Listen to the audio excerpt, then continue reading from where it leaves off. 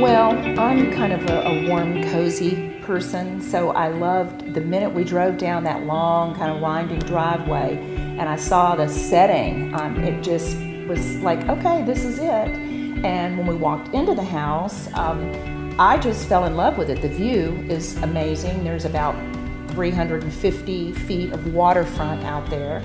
Um, we also loved the fact that the accessibility from the house down to the dock was an easy walk. We like the privacy. Uh, as Penny said, we, we, li we like the water frontage for sure. Uh, we know all our neighbors. Some are full-time, most are part-time, which is okay with us. And we like the north end of the lake in terms of, of accessibility to Alex City.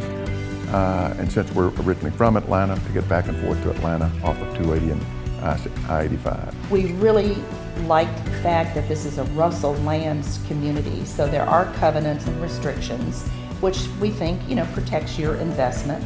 And when we purchased the house in 2012, well, it's just the two of us. Mm -hmm. So the house really is in excellent condition because it hasn't been used that frequently. We've made the decision that we are going to be moving to St. Augustine, Florida.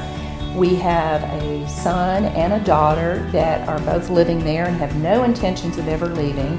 So they are begging mom and dad to come live closer to them so they don't have to worry about us. Um, so that's the only reason that we're selling the house, is that we're looking forward to that next decade or two of our life around our kids and grandkids. Check it out, PaigePatterson.com, and always like Love Lake Martin on Facebook.